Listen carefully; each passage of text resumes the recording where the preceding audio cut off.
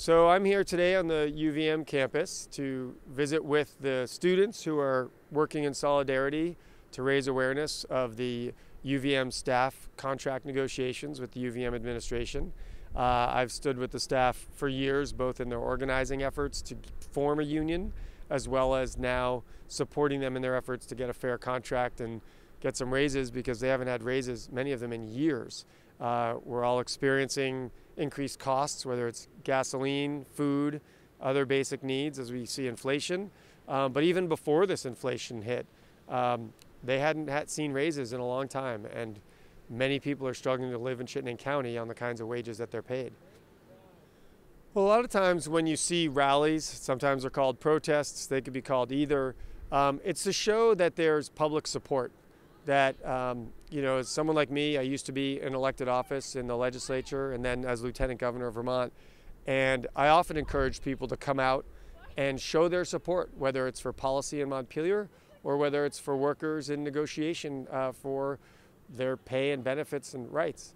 Um, and oftentimes, when negotiations like this happen and nobody shows up, nobody really knows what's going on, and the folks at the top tend to have more of the power. When, when the public or supporters come out, it helps bring into focus and into visibility for people who are just sort of getting through their day that there's something going on.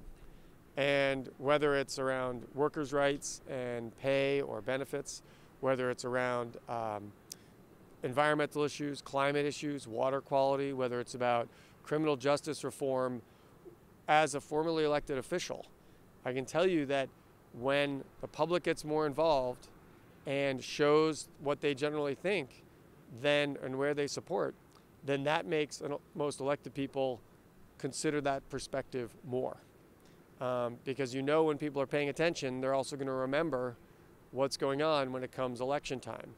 And that's not necessarily taken as a threat in any way, at least never was by me. To me, what it was about saying, great, now I have a better sense of what people are interested in. And when you're a public servant and you're supposed to represent people, it helps to have an idea, um, not just from who you see at your coffee shop or at the grocery store that you frequent, but also people that you don't always see because you're supposed to represent everybody. Um, do you have any specific updates related to this situation? I don't really. I just showed up about 20 minutes ago to visit with the folks that are camping out. I hear there was an update, but some of it is being kept, I guess, close to the vest. So, um, you know, that's kind of where I, what I'm hearing right now. I've heard mostly that the negotiations have um, maybe not moved very far, uh, which is unfortunate. So there's a couple things that, that unions offer. Um, you know, most everyday people are just trying to do their job. And, you know, once in a while in a smaller workplace have sometimes negotiated with a boss for a little bit of pay here or there, or they talk to their boss every year. But usually in larger workplaces, um, they almost never see the, the top dog. Um, and in negotiations where you've got something like this situation with a university with lawyers and people that have dealt with sort of every situation under the under the stars. And then you've got the everyday worker who's just showing up to work, trying to do their job every day, go home and juggle all the things they've got to juggle at home. They're at an incredible disadvantage. And so what unions do is they can help with some of those knowledge sets for negotiations. They can help with knowledge sets of how to get people supportive and how to change the dialogue that's happening inside by what's happening outside, you know, whether it's this or the rally last week and the rally the week before and the rally next week.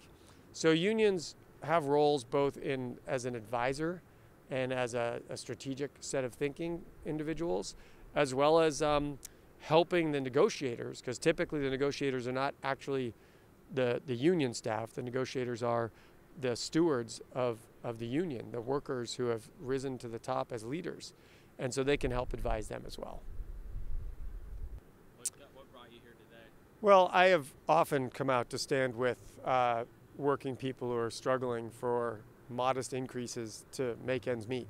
Um, I've stood with teachers when they've been organizing and occasionally going on strike.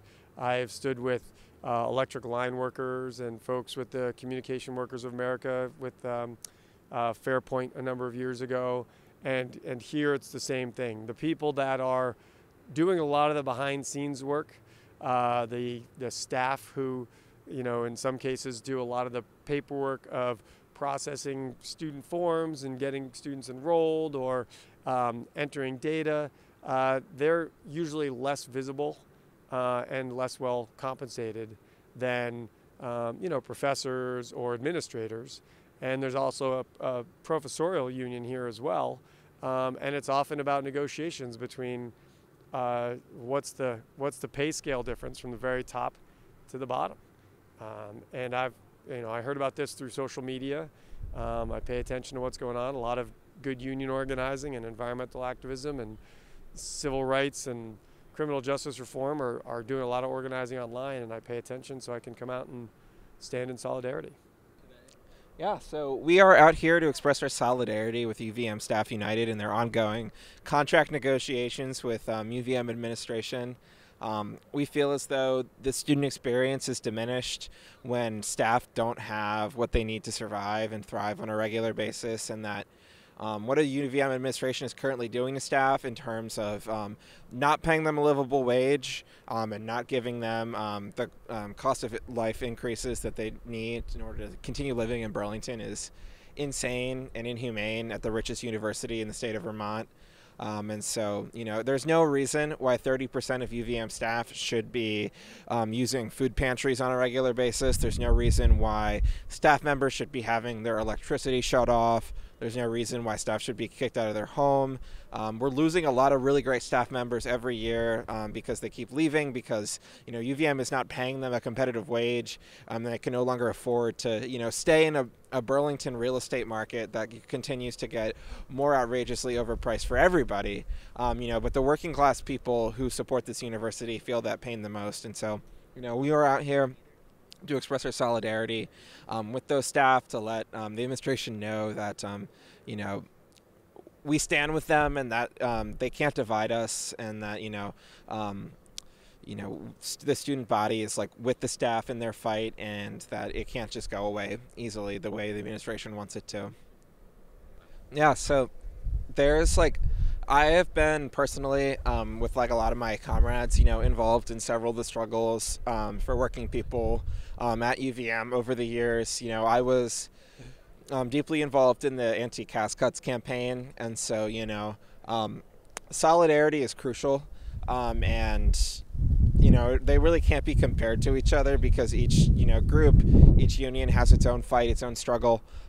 you know, but you know it, it, it hurts the same, you know, when like any piece of our community is missing, when any piece of our community is left out, you know, we're left with an incomplete puzzle, you know, and so um, it feels the same way. I feel the same sort of sense of urgency about, you know, um, majors being cut, professors being laid off, you know.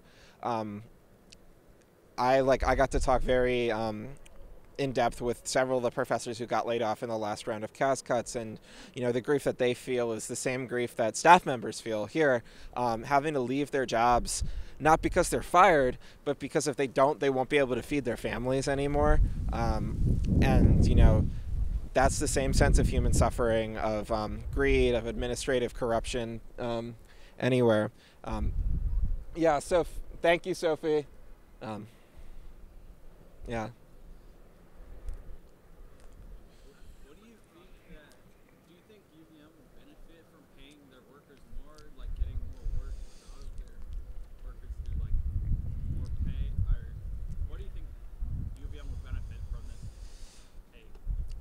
So the benefits are like a couple things, you know. So first of all, um, UVM is having a really hard time staffing all of the positions that it needs to. And so the workers that are left over here um, are forced to work more and more and take on more responsibilities um, for the same level of pay. Um, and so when you have a workforce that's well paid, um, that's doing the job that only it's supposed to be doing, um, that increases the quality of work that they're able to put in. Um, and you know, from a student perspective, we can easily see you know the quality of the services that we have been receiving over the last several years decline um, across the board, and that's because you know there aren't enough staff to do these jobs, and people aren't coming to work here because it's not an attractive place to work.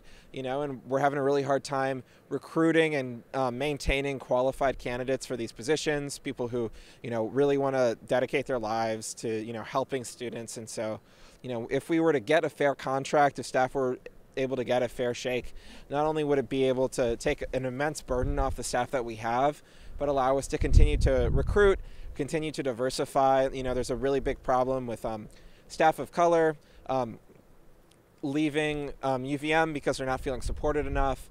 Um, and that in turn affects the way that students of color on campus um, are able to experience their day to day lives. And so, you know, a win for staff in this, a, a greater, you know, um, focus on working class people on campus, you know, will just have all around benefits that you could feel from every corner, from students, from staff, from faculty. Um, everything works better when people are being treated with the respect that they deserve. Um, what do you think the role of the union is in the negotiations? like between, that's the wrong way of putting it, but like, what do you think the role of the union is? You know, UVM Staff United is a new union. Um, you know, I think it came around about a year ago. Um, you know, and winning that vote was really tough because for decades, for years, you know, um, UVM staff have been trying to form a union. Um, you know, there was large protests back in 2007, back in 2012, and so this is a long time coming. And you know, it's the culmination of decades of work by you know numerous activists, some of whom have been fired um, for their role in um, union organizing, and so you know, the union has been such an incredible force on campus um, you know, the community support and um, the level of sort of engagement that the staff union has given to, you know, student concerns and to, you know, build bridges with us is phenomenal, you know, and I feel that like um, the staff union has done a really good job of, you know, building cross community connections and strengthening the UVM community as a whole. Um, and obviously they're leading the fight in the bargaining negotiations and, you know, even the right to collectively bargain for a contract, you know, which is what they're doing right now is, you know, fought and earned by the people who formed that union. And so, you know, we're really thankful to them and, you know, hopefully we can get um, that second win because, you know, forming the union is only the first piece of the puzzle and then winning that fair contract is the second piece. And so, you know, we just got to get those two together. Do you have anything else to say about just, just in general about what you're doing, or just um, you, you? Yeah. Anything? I mean, there's a long history at UVM of campus activism and campus activism in favor of working class people on campus. Um, and a long history of you know constructing tent cities or shanty towns. And so you know we're really drawing back to like a long history at uvm that's really cultivated by people you know like the apartheid divestment protests um, the minority protests of the early 90s and you know we want to thank those um, forerunners for you know um, building that culture giving us that history to learn and work off of um, and to tell you know uvm administration that you know we're not going to take it anymore. You know, this is a make or break moment. You know, if you fail, if UVM administration fails to, you know, deliver staff a good contract, then, you know, we're going to see a mass exodus of talent from the university, and we're going to see significant problems in running um, the university next fall. Um, as we're facing significant problems now, um, but they're only going to multiply. And so, you know, I beg UVM, I beg you, you know, I don't, I don't, you know, I say this very, very like strongly, you know, like I beg UVM to, you know, deliver on these benefits and to you know bargain in good faith because if they don't um, you know there will be strong repercussions across the community. And i love uvm you know? I've spent years of my life here you know fighting trying to make this a good equitable place for everybody. Um, and you know it just needs to happen you know? Like there needs to be a change. Like it just we can't keep going on like this you know? I'm here because just how they treat the staff is fucking awful. They are paying them basically pennies just so Suresh can take home a fat paycheck and his other ghouls in the admin and just higher ups in general while the staff has to work multiple jobs. What uh, what brought you here today? Like what um, what was, how did you find out about this event, and why did you decide to come out and cancel? Uh, I was just in so I was in a lot of the groups who had people who were planning it, and they're just reminding us about it, and I was super excited to like be out and doing something, like have have something meaningful to do instead of just talking about making a change, actually like doing something that might be fighting for it. Um, what what goals do you um, you personally want to achieve by being out here, and um, what or what did, has your group decided to your goals would be? Uh, personally, I want the staff to be afraid. I want them to know. I don't know if I'm staying at this school. A lot of the reasons is because of the school admin's shitty policies that are not friendly towards students, not friendly towards staff, not friendly towards people in my major, people in other majors. So I hope they know that there's th- there's more on the line than they think there's a lot of people who don't want to stay here because of what they've been doing, how they've actively been ruining the experience for us. So I hope they're afraid. As for like everybody else's, I think it's just also to show solidarity, show that people are here to support the staff, that it's not this issue that people have been making it where it's like the staff against the students because oh, if the staff get a livable wage, then the students will have to pay more. Like, no, there's a million places we can get that money from. They are. They keep saying we're poor. They, they keep saying that we're going over budget, that we don't have the money. We have the money. They're fucking liars. Um,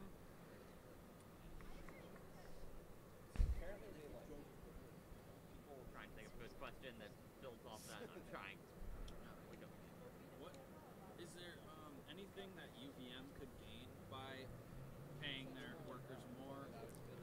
Uh, well, really, they could gain a staff who's able to put their full energy into the work they do here. They can gain people who are really passionate about this, really energized to come here to be able to, you know, work with students, do their job because they don't have to worry about taking up a second job, filling up their time with that, like having all their energy sapped from them by the fact that they're having to do 80 hour work weeks. They, like, just human rights in general are a gain. No matter who it is, human rights are always at the top of that, and that includes people being able to just have the necessities necessities for survival, food, water, shelter. And school's not and the school's not paying enough for a lot of people to afford that. Um, what do you think the role of the union is in the negotiations? I think the role of the union is to make sure there's an organized force that is willing to stand up against the stand up against the school, against the higher ups, that are willing to say that we're here as a collective bargaining unit. We're here to make sure that nobody in the nobody in the staff is getting left out. That we're all that that essentially all the workers here are here to fight for each other. Okay, uh, to UVM, Suresh, you're rat fucker. I hope you resign, you piece of shit. I and just pay your employees, you fucking bastard. I'm just hanging out here, sleeping overnight, waking up in the morning. So why are you here? Why are you at the group? I mean, I think the staff deserve to be paid a livable wage. I'm friends with a lot of staff, and you know, here to support my friends and the community on campus. And yeah, what are your goals? Yeah, I, just staying out here. What what are you looking to achieve? uh, I'd like the administration to feel some pressure on them, cause I mean, staff are definitely feeling the pressure of, you know, I'm sure you've heard the statistics in the past few interviews, but like a third of staff food insecure, 500 staff being paid below a livable wage, and that's a livable wage is only accounts for if you don't have kids. So you need above a livable wage if you want to support your children with that job. And also rent crisis in Burlington at large been going up steadily, so it's practically impossible to live here. I know a lot of plenty of faculty and staff have to live outside of Burlington, and it's ridiculous commute. Gas prices are going up, and I'm gonna say right now that's not because of Ukraine. It's because the oil companies know they can milk us out of as much gas as possible. So generally, things are getting harder and harder to live, and people already weren't able to live off the, you know, salaries that they were being paid before. Also, staff are working overtime without pay, and the pandemic's made things a lot harder. There's a bunch of different. Uh, like maintenance has about 20 open positions right now. Uh, housekeeping has 26 open positions because no one wants to take those jobs because it's ridiculous hours for terrible pay. You know.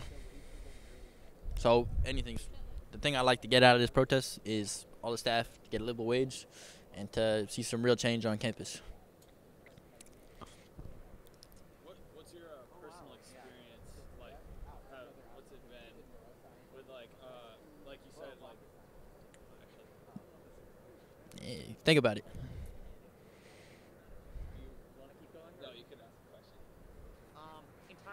subject. Okay. Well, not entirely. Of it. I'm talking too much. like, what do you think the role of the union is in the? Oh, the union are the ones negotiating, if I'm correct. What do you mean the role? I'm kind of confused by that. Yeah, question. I think the role of the union is to represent the interests of all the staff and make sure that every single member of that staff leaves with a fair fucking contract. And, you know, if there's no union, it's pretty much like the university was trying to take advantage of staff because they knew they didn't have a union. They, I think they got the union last year. Um, and the university was putting a lot of shit in place while they didn't have a union because they knew that without a union there was no way for them to fight for benefits as a group. So i know some specific people were going and like fighting their own individual fights but can't fight a collective fight without uniting you know? You, you finished thinking about your question that you had before? Okay So, um, what? Um, so, uh, what brought your like attention? Like, what what brought you here today? Like, that, I, I know you're. Talking well i've been here a couple days but what brought me to the to this encampment Yeah, yeah, yeah. Oh, I mean, just hearing stories from the staff. I mean, the staff been doing a push for this for a minute now. Uh, not for this encampment, but to get fair contracts. And I've been hearing about it all semester. And, you know, hearing their stories and realizing that, you know, as students, we have the capability to make change. Everyone always says, you know, the youth are the ones who have the most power because people listen to what we have to say. Because once you're an adult, you're just another voter.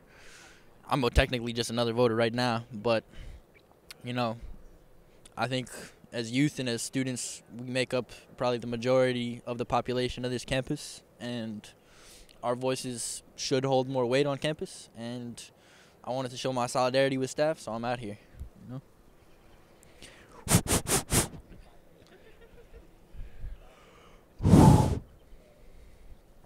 Yeah.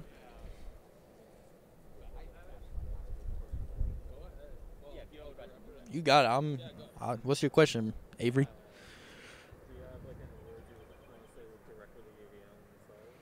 To UVM, uh, the administration. Um, I'm gonna look into the camera. So, pay the staff a fair contract. Uh, you have the money to do so. You're corrupt. You run this campus like a business. Um, you lie consistently. We know that you lie. Um, you're going to be held accountable whether you like it or not. And uh, don't forget that you're people just like us, and it goes both ways. You come out here try to humanize yourselves to us, but it doesn't seem like you're acting to humans, acting like humans to the majority of the people you employ. So, you know, shape up or you know, prepare to face consequences.